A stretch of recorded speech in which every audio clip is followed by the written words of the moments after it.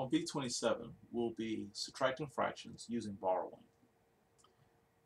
First, I notice that I cannot subtract 5 from 2, so I have to borrow from the 4.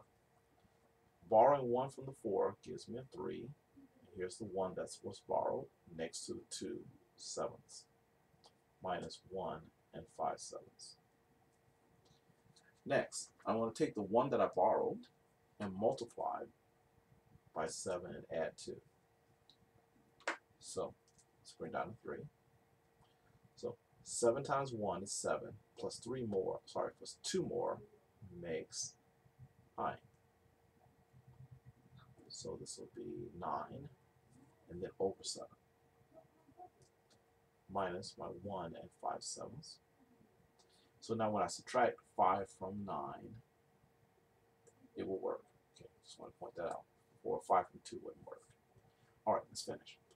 1 from 3 leaves 2, and 5 from 9 leaves 4, all over the common denominator of 7.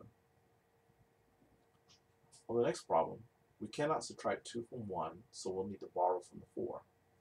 When we borrow from the 4, it becomes a 3. The one that we borrowed goes next to the 1 fifth. Minus 2 and 2 fifths.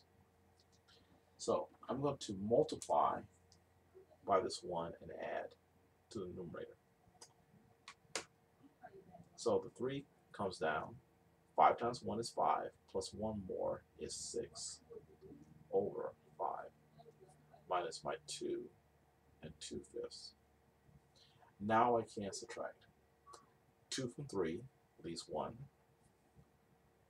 2 from 6 leaves 4. And that'll all be over 5. Next, we cannot subtract 2 from a 1, so we're going to have to borrow from the 6. 6 now becomes a 5, and the 1 that we borrow goes next to the 1 third, minus the 3 and 2 thirds. So now I'm going to turn this 1 and 1 third into a mixed number, I'm sorry, improper fraction, by using multiplication and adding. The 5 comes down. 3 times 1 is 3, plus 1 more is 4. So this is 4 thirds minus 3 and 2 thirds. Now we can subtract. 3 from the 5 leaves 2, and 2 from 4 leaves 2, and that's all over 3.